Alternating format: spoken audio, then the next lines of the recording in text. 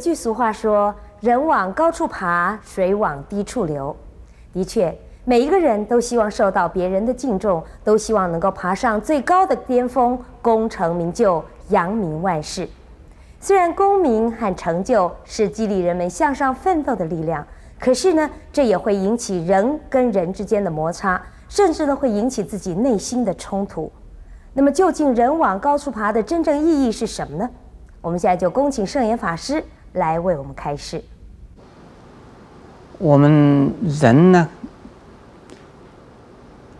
也是一个自然现象，所以自然现象里头有啊，动物的自然现象和植物的自然现象。动物和植物要生长啊，它是一定往上的。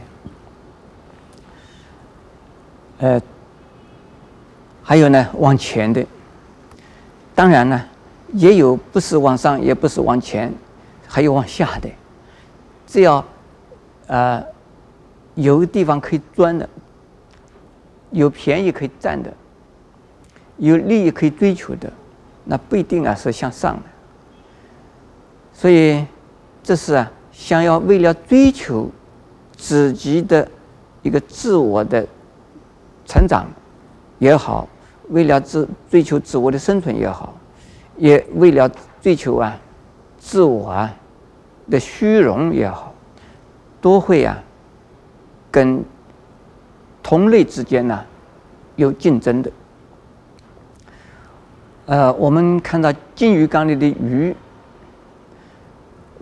你放下这个饵进去的时候，那个鱼啊，都是啊争先恐后的在抢那个食物，一定是这样。但是食物在水面上没沉下去呢，这个鱼统统到水面上来争。如果食物已经到了下边了，在水里边呢，已经往下沉了，这个鱼就不在水面上了，就跟着那个食物在哪个位置，大家抢了。还有呢，我们看到森林里边的树木，以及呢平原上的呀草。他们呢，为了要吃露水，为了得空气，他们呢，都是拼命的把头伸出来，能够得到更多的露水，得得到更多的空气。如果森林里边呢，被所有的大树摘起来的小树，到最后这个小树怎么样？就枯萎而死。草也是一样，如果草丛里边的小草吃不到露水，得不到阳光，没有空气，它也会死掉。所以，我们为了人的为了追追求生存呢，它必须要有一种啊，往上、往前，或者往空虚的地方，或者是往它有利的地方去求发展，求生存。这个是人的本能呐。如果仅仅是止于此，可能呢，就像西方说达尔文讲的。物竞天择，适者生存。那是就是说，这个物的，就是不管是自然自然的界的动物、植物多好，呃，都是啊，从竞争之中啊而求生存。我们看到竹笋呢，如果把一块石头压起来，这竹笋呢，可能从另外一个方向啊转一个弯呢，它。从那个石头缝里边也会长出来，那表示说，它是要求生存，一定是这个样。所以我们人呢，基本的一个条件就是要求生存，要求发展，这是正常的啊。可是呢，人还是人，人不是物，不是动物，不是植物，它里边呢一定有啊，不同于植物与动物的呀优点和长处。的有在，那就是说，所以精神的，所以精神的是什么？精神的往往啊，一般的人把精神呢解释或者是寄托在啊有形的、有形的财产、有形的地位、有形的名望、有形的势力。上面呢，把自己扩展了，自己每一个人的身体最高谁有两公尺的吧？大概很少，所以一公尺八、一公尺九、两公尺是巨人了，就这么大。这个块头大，有没有五百公斤的人呢？这太少了。能有两百公斤的人，这个已经是不得了。普通的人只有七十多公斤、八十公斤，已经是不错的。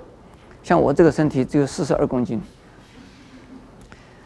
但是呢，身体虽然这么小，为了自己啊膨胀自己，所以用什么来膨胀自己呢？用名来膨胀自己，用地位来膨胀自己，用权力来膨胀自己，用啊钞票来膨胀自己，用啊种种的势力来膨胀自己。说，哎，我的这个力量好强哦！我只要打一个电话。